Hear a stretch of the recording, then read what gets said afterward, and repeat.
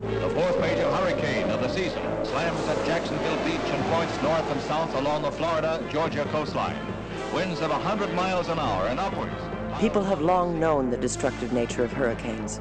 These storms, bringing heavy winds and rain, may last several hours and have a diameter of over 480 kilometers or 300 miles. Hurricanes form over warm tropical oceans in areas of low air pressure. They consist of high-velocity winds blowing in a circular motion around a low-pressure center known as the eye of the storm. The only defense against hurricanes is through early warning and preparation. Meteorologists can now track these storms and measure their force through the use of radar and satellites.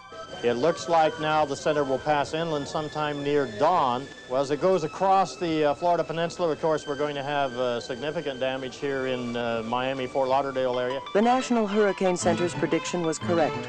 In August 1992, Hurricane Andrew caused billions of dollars in damage and killed a number of people when it hit the southeastern United States.